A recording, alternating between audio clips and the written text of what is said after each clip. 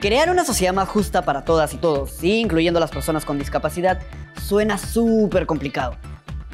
Pero si todos ponemos de nuestra parte, podemos lograrlo. Una forma de ser parte del cambio es utilizar los términos correctos. No usemos palabras como cojito o cieguito. No solo parece que te dan pena, sino que además les estás tratando como niños. Y muchas veces ese no es el caso. ¿Cuál es la palabra correcta? Persona con discapacidad. De esta manera expresamos que esta persona es igual a nosotros y que su discapacidad es solo una característica más. Otra forma es ayudando a derribar mitos sobre la discapacidad. La mayoría de estas creencias se han transmitido a través de generaciones y son totalmente falsas. ¿Como cuáles? ¿Que las personas con discapacidad solo pueden ser amigas entre ellos? ¿O que no pueden realizar actividades como trabajar o estudiar? Hablemos un poco más de las capacidades y los talentos de las personas con discapacidad. ¿Mm?